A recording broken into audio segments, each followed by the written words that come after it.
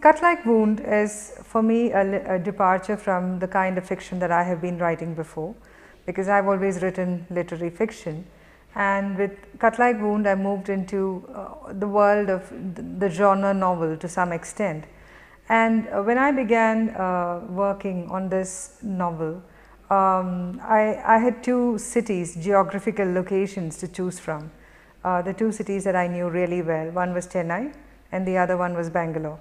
But since I uh, haven't lived in Chennai for the last 22 years, I was very afraid that my novel was going to be tempered with a lot of nostalgia, which I didn't want because this is a whodunit to some extent and it needed a certain immediacy. It needed to be very, very, I, I thought, edgy. And to that extent, I thought I would then set the novel in the city that I made my home in for the last 22 years. And so I know it to some extent, not really.